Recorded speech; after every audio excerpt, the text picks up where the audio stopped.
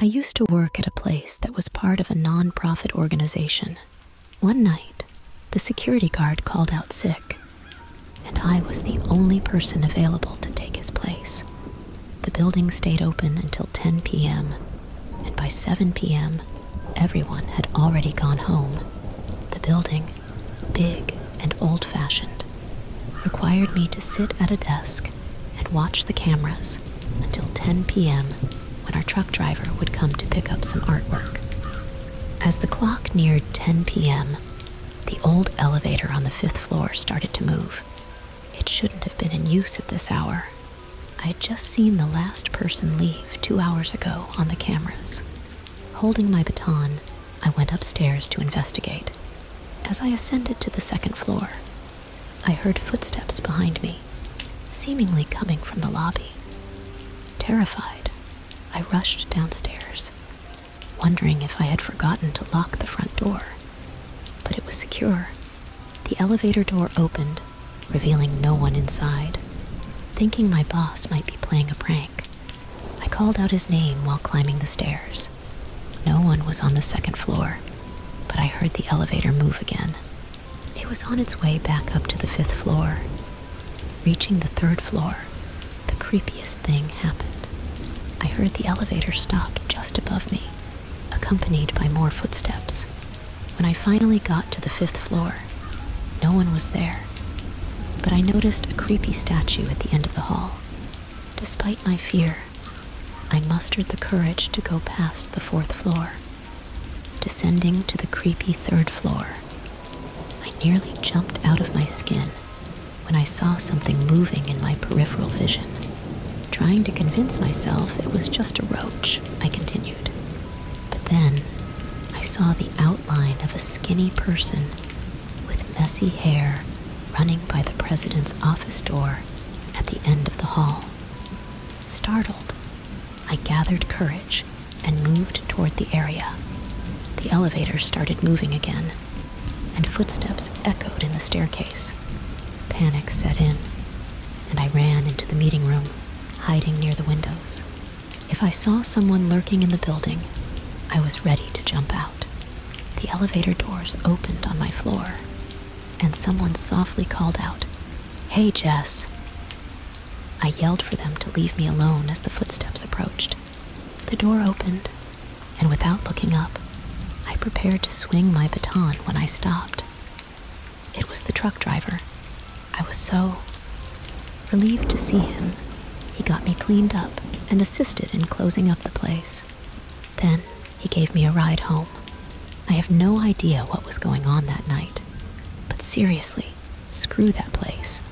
I never worked another security shift there at night again. A couple of years ago, I was sailing on a ship that maneuvered offshore, looking after a pipeline about a half mile long.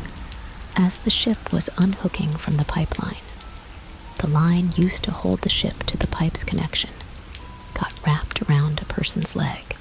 It sucked him through the rails, and he fell about 30 feet into freezing water. The general alarm sounded for a man overboard, waking me up at around 5 o'clock. Confused, I woke up to find everyone frantically running around on deck. Once I realized this was no drill, I ran to the starboard side. Three life rings were in the water, and one was about three feet away from the man overboard. He couldn't reach it. Having a work vest on that kept him afloat, but hypothermia had already set in. He moved slowly and weakly, called out for help. At this point, it was clear he couldn't grab the life rings. Half the crew and I ran to the rescue boat to unhook it, while the other half tried to get him onto the ship in some other way. It seemed to take forever to get the rescue boat down. The hold down straps were rusted and took a lot of effort to remove. The cover was wrapped around the boat and impossible to get off. The hoist was the slowest of all time, taking what felt like 10 minutes in that crucial moment. I was sure this guy was going to die. Finally, in the water, we got two guys in the rescue boat started toward him. Of course, everything that could go wrong did, and the engine cut out. Luckily, we got it started again. At that point, I ran back to the starboard side. Everyone was yelling and panicking, asking, Where is he? Do you see him? One of the mates said someone had lowered down a ladder and he had managed to grab onto it, but his leg was still caught in that line we couldn't get it free. The line got tugged and he got sucked underneath the ship. Everyone seemed to go silent. I looked down and saw the man's boot floating up toward the surface. A guy walked up to me and said, He's gone. After nerve wracking moments, the crew in the rescue boat continued to search anyway and radioed that they found him further along, bobbing in the water face down, still attached to the hoist line. He was unconscious and not breathing. The rescue crew tried pulling him onto the boat, and the swell of the sea impacting his chest made him spit up water. The crew radioed back that miraculously he had regained consciousness. The line was removed from his leg, and he was pulled fully into the boat. The boat headed straight to shore, where a beach crew and ambulance were waiting. They got the guy some coats and put them. Became conscious enough to understand what was going on, but he couldn't speak at all. The ambulance rushed him to the ER for extreme hypothermia and near drowning. The guy's vest ended up saving his life in more ways than one. It kept him afloat and visible. I say visible because, in those conditions, if he didn't have that vest on, we probably would have never seen him again in that water. Things luckily did not result in his death, but they easily could have due to the temperature of the water, equipment failure, and the fast reaction time required. It was the scariest thing that ever happened to me while sailing. The look of terror on the guy's face is still with me to this day. The feeling of being absolutely powerless to help, even though he was mere feet away from us. He spent a few days in the hospital afterward and miraculously suffered no serious injuries, if you don't count the near death experience. On a cross country road trip with a colleague, we were driving through West Texas on a major highway. In the desolate area, even the major highway was pretty isolated. Truck stops or gas stations were about every 100 miles, solitary with no other buildings in sight, and there weren't really any towns. It was a late night, driving for about four hours. I can usually drive for about eight before getting tired. But my friend could only drive for about four or five hours before she was done. Before it was my turn, we were getting low on gas, about a quarter of a tank left. When you travel the road often, you learn to fill up when you get the chance, as you never know what might happen. She was looking out for a gas station as we drove along. It's really corny, but we were talking about fate, destiny, and some other weird stuff at the time. That sort of conversation gets me keyed up and worried, so I was trying to change the subject. She took an exit while we were talking, and I got out my coffee mug to fill it up during my turn for driving. We pulled up into a typical middle of nowhere gas station. Just a simple station with the trailer out back. Assuming that's where the people who owned the station lived. Another car was parked out front, doors off to one side. We got out, still talking, and walked up to the double doors, each of us grabbing a door handle. However, the door was locked.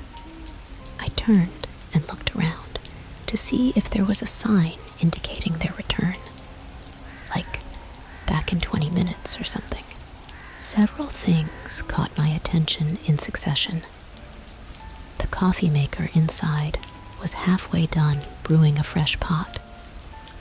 The monitors showing the store were visible from the outside, and there was a splash of bright red on the door in the back of the place. upon closer inspection, I suddenly. The store, not wanting to entertain any further conversation with the creepy old man. As I wandered away, I could feel his gaze lingering on me, but I tried my best to ignore it. I decided to head to the food section, hoping to lose him in the crowded aisles. However, as I turned into a different aisle, there he was again, still trailing me.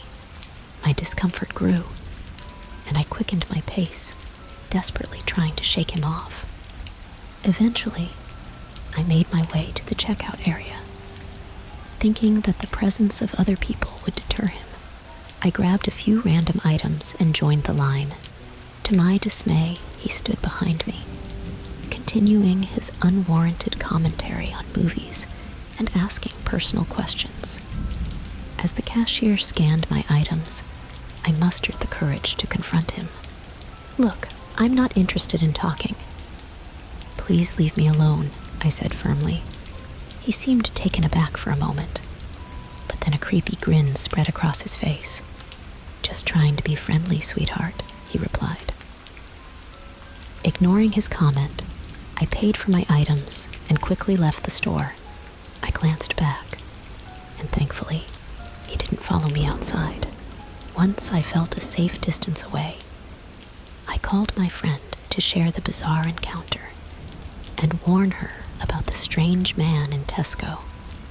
Reflecting on the incident later, I couldn't shake off the feeling of unease. It was a reminder of how unsettling encounters could happen anywhere, even in familiar places like a local store. I never found out what the old man's intentions were, but I was grateful to have escaped the situation without any further incident. Friend and stayed out a bit later. I didn't mind since it was part of her newfound religious interest. I picked her up as planned, and everything seemed normal. Wednesday night, she mentioned she wanted to attend both churches. I found it a bit odd, but figured it was her choice. I dropped her off at her friend's house after school, where she'd then go to the evening church service. I passed the time at home, just watching TV and relaxing. Around 9 p.m., I got a call from my sister. She sounded panicked and told me to come pick her up immediately. She said something felt off at the evening church, and she wanted to leave. I rushed to her friend's house and picked her up. On the way back home, she explained what happened. During the service, a man she hadn't seen before approached her. He seemed overly interested in her attendance and asked personal questions. He made her uncomfortable, so she decided to leave early. As she exited the church, she noticed the same man following her. Fearful, she called me, and that's when I picked her up. Concerned for her safety, I decided to accompany her to both churches the next day.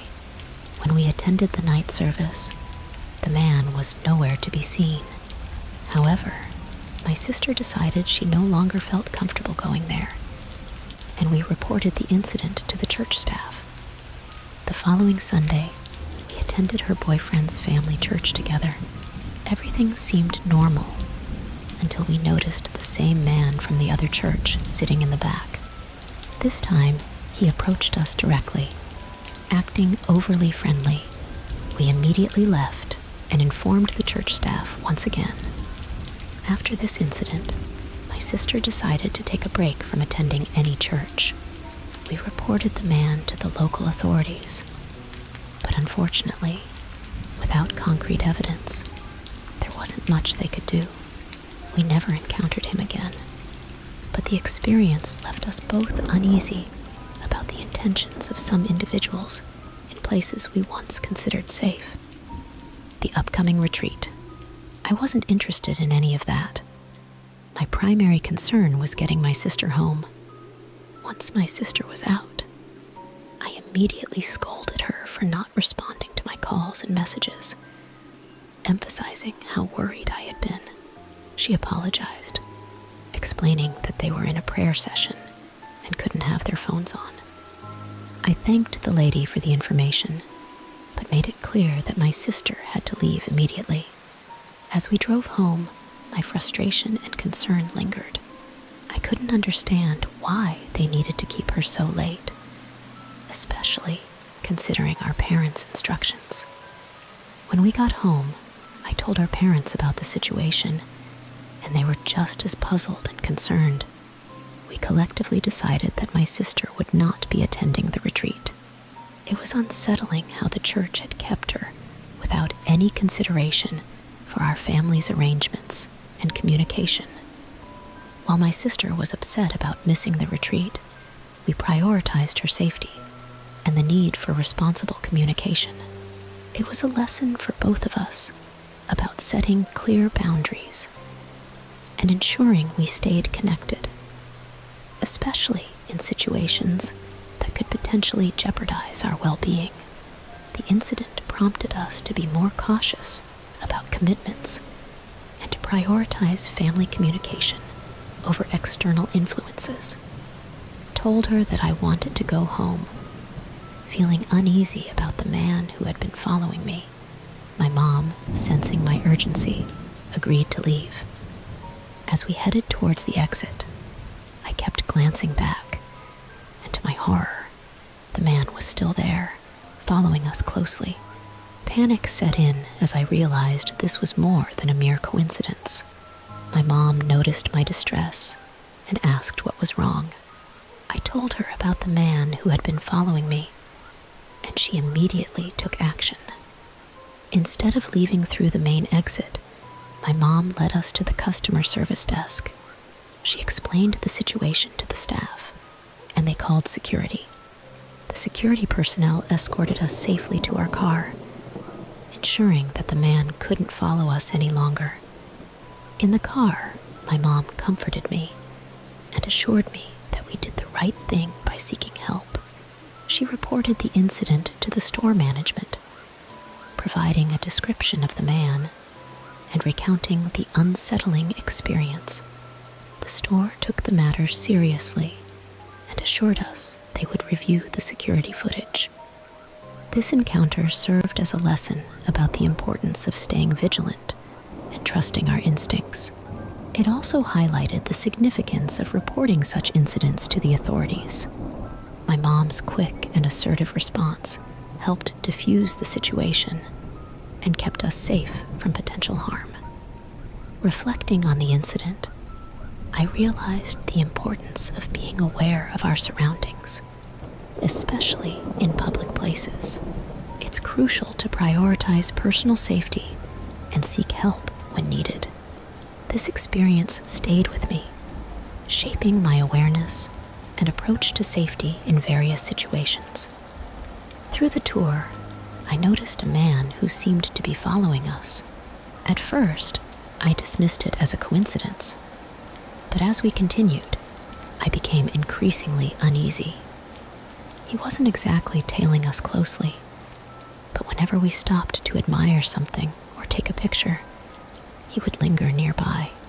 I decided to test my suspicion abruptly changing direction a few times, and each time he adjusted his course to stay in our vicinity.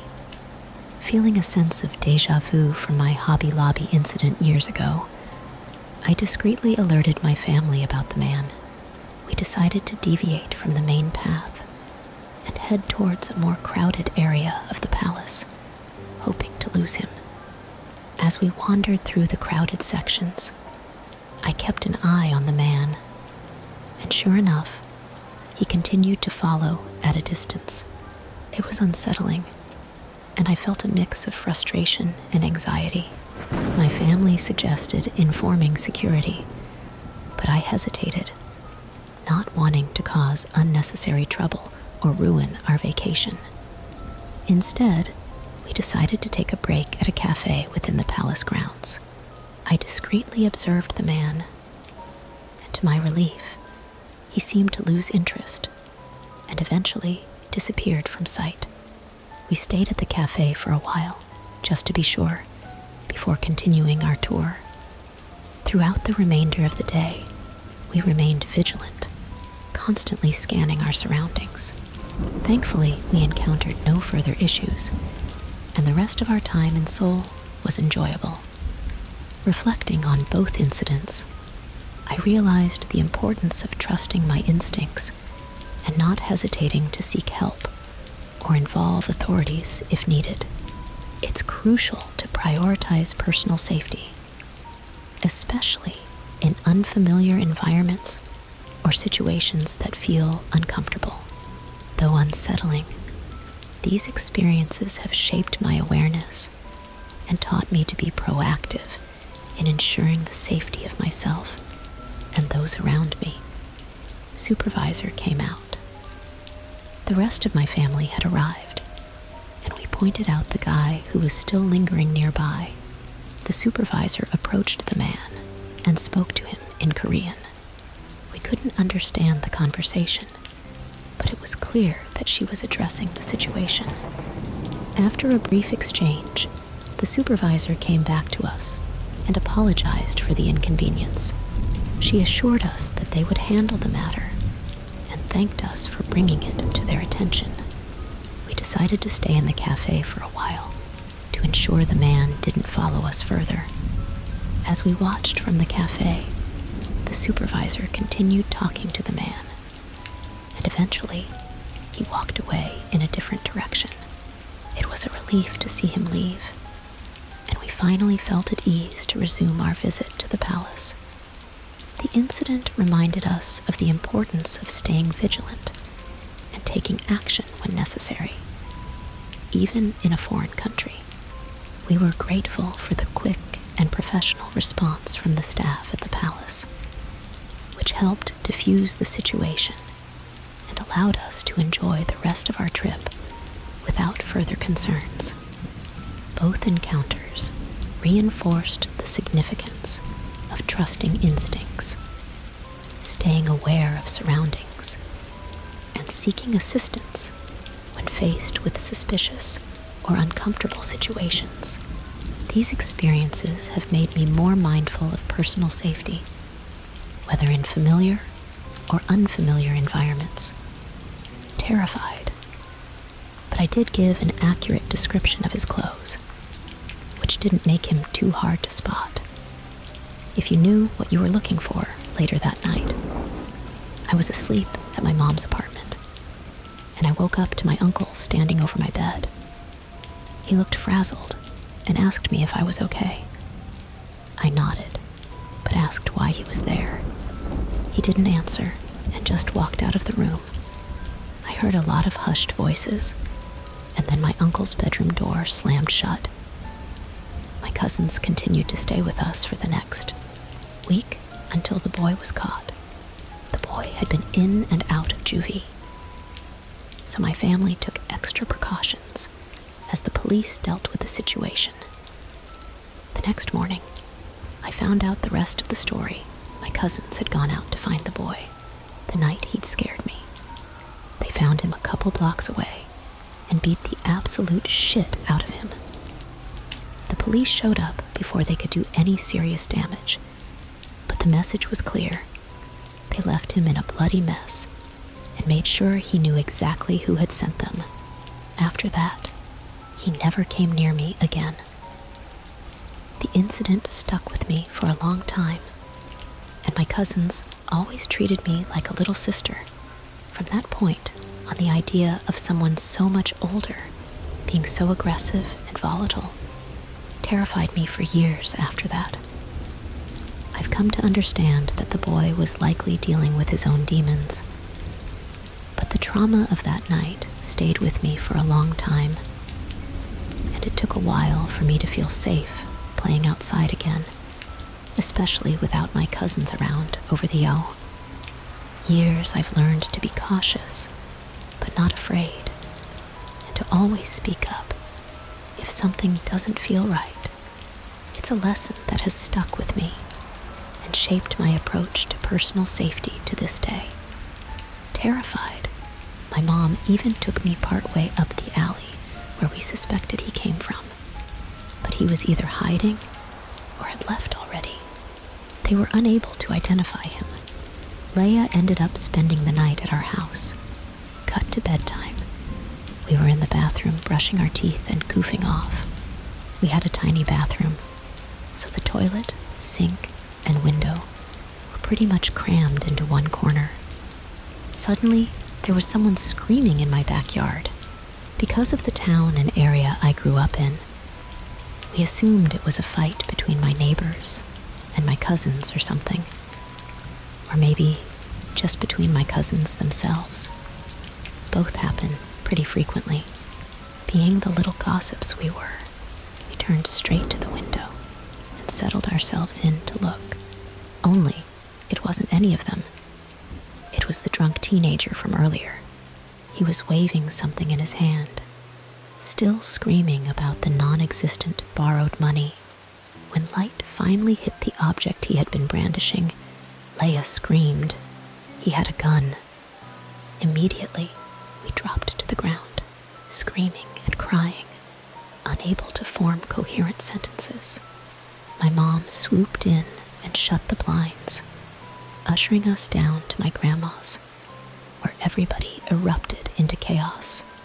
The whole night was spent giving statements to the police, calling uncles, and generally trying to calm Leia and me down.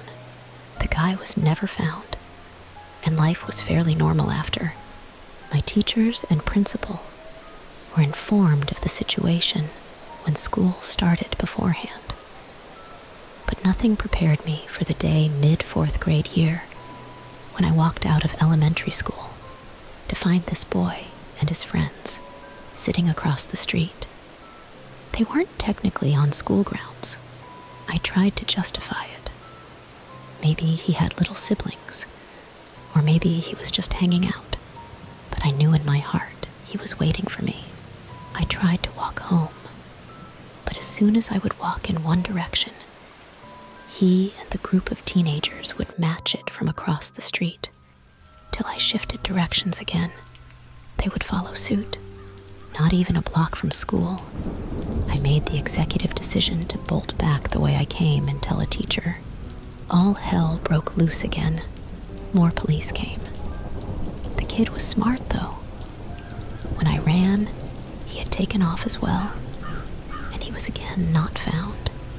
My mom started picking me up and dropping me off to school after that, so things quieted down a bit. There were still times, though, when I'd be looking out a window alone, and I would see him standing across the street, just watching me. The last incident, I never even connected to this situation until years later. He had stopped showing up at my school almost as abruptly as he'd started. I eventually begged, pleaded, argued, and cried enough for my mom to start letting me walk home with Leia again.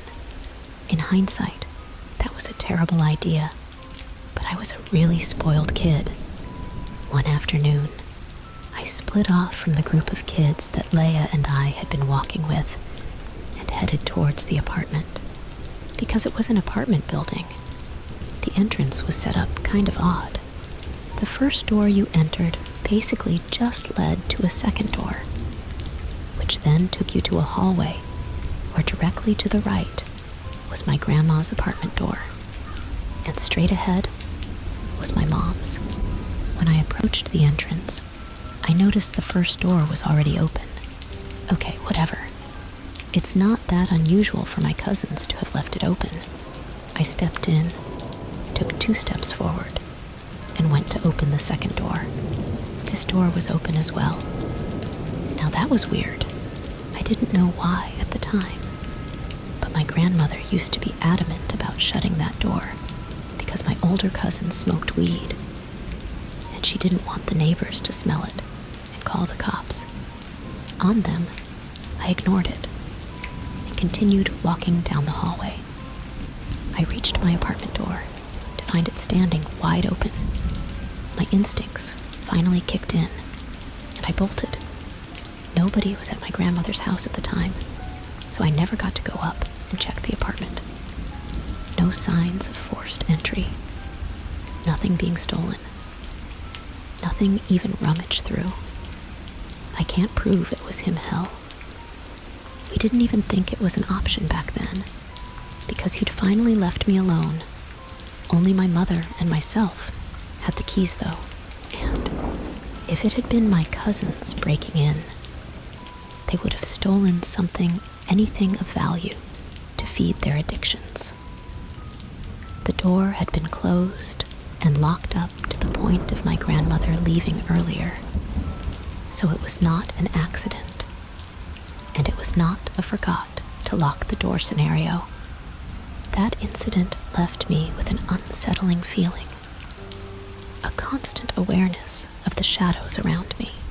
As the years passed, the fear gradually faded, and life continued without his ominous presence. Yet the memories lingered, an indelible mark on my sense of security. The stranger, with his disturbing episodes, became a haunting figure in the recesses of my past. To this day, I wonder about his intentions and why he targeted me. The unanswered questions linger in the air, a chilling reminder that sometimes the horrors we face aren't confined to the realms of fiction. As I reflect on those unsettling events, I can't help but shudder, grateful that the darkness he brought into my life eventually dissipated. The scars remain, but so does the strength forged through those eerie encounters. And so, the tale concludes, leaving an open door to the unknown. The enigmatic figure may have vanished, the echoes of his presence reverberate through the corridors of memory, a testament to the inexplicable terrors that can intrude upon our lives. Terrified, but I did give an accurate description of his clothes, which didn't make him too hard to spot. If you knew what you were looking for later that night, I was asleep at my mom's apartment, and I woke up to my uncle standing over my bed. He looked frazzled and asked me if I was okay. I nodded, but asked why he was there. He didn't answer and just walked out of the room. I heard a lot of hushed voices, and then my uncle's bedroom door slammed shut.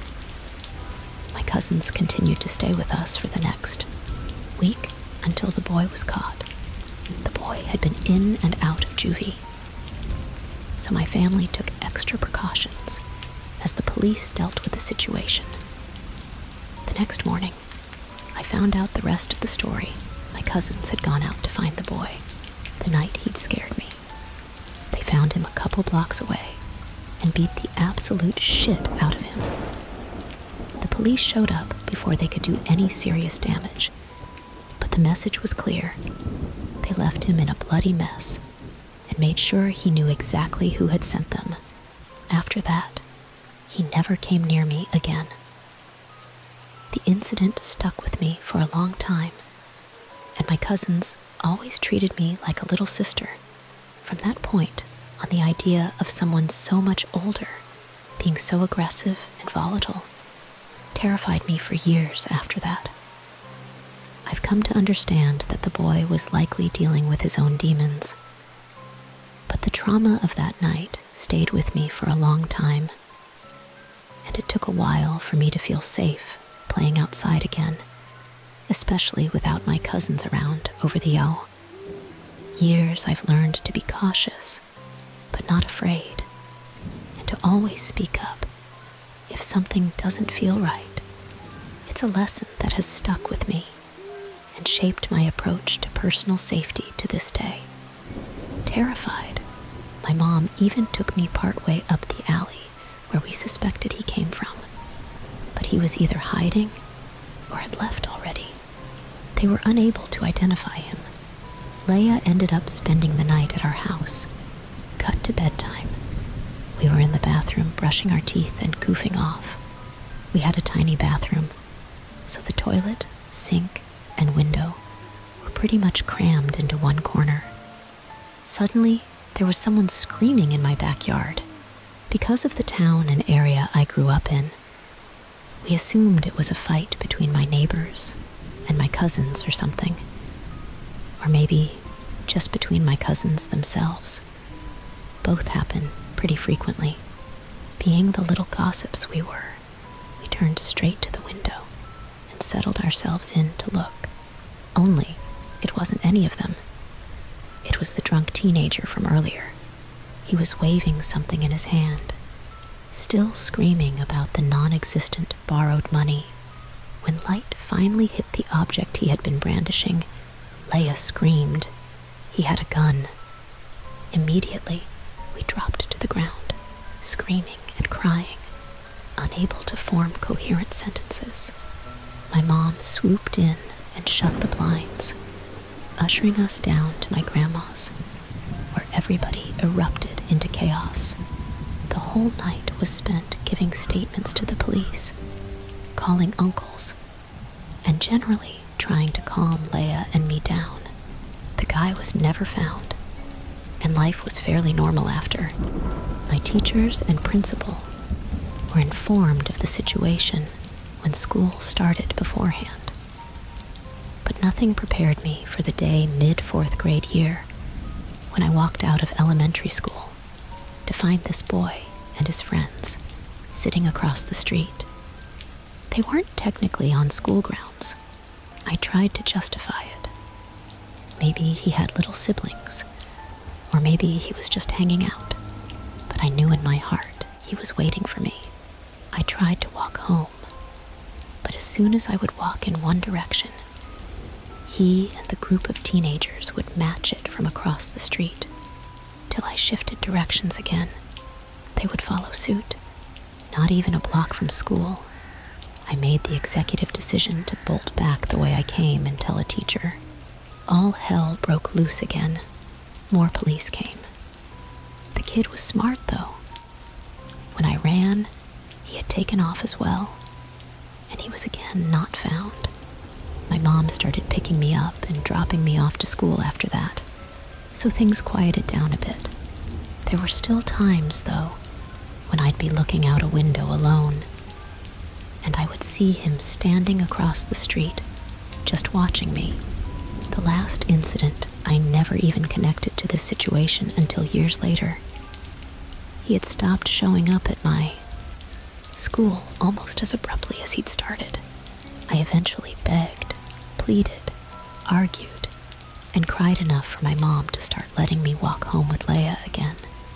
In hindsight, that was a terrible idea, but I was a really spoiled kid. One afternoon, I split off from the group of kids that Leia and I had been walking with and headed towards the apartment. Because it was an apartment building, the entrance was set up kind of odd. The first door you entered basically just led to a second door, which then took you to a hallway where directly to the right was my grandma's apartment door, and straight ahead was my mom's. When I approached the entrance, I noticed the first door was already open. Okay, whatever. It's not that unusual for my cousins to have left it open. I stepped in, took two steps forward, and went to open the second door. This door was open as well. Now that was weird. I didn't know why at the time, but my grandmother used to be adamant about shutting that door because my older cousin smoked weed, and she didn't want the neighbors to smell it and call the cops. On them, I ignored it and continued walking down the hallway. I reached my apartment door to find it standing wide open. My instincts finally kicked in, and I bolted. Nobody was at my grandmother's house at the time, so I never got to go up and check the apartment. No signs of forced entry.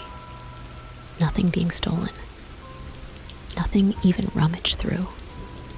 I can't prove it was him hell.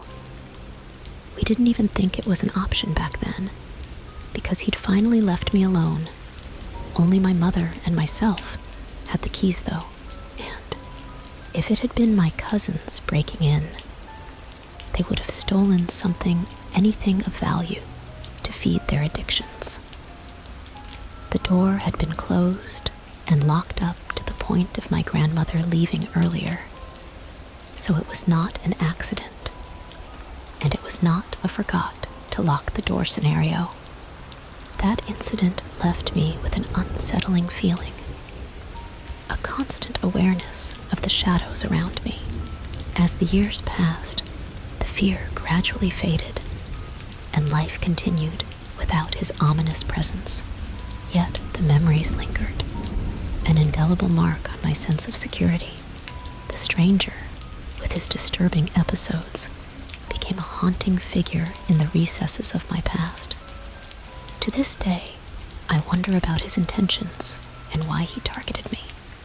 Unanswered questions linger in the air, a chilling reminder that sometimes the horrors we face aren't confined to the realms of fiction.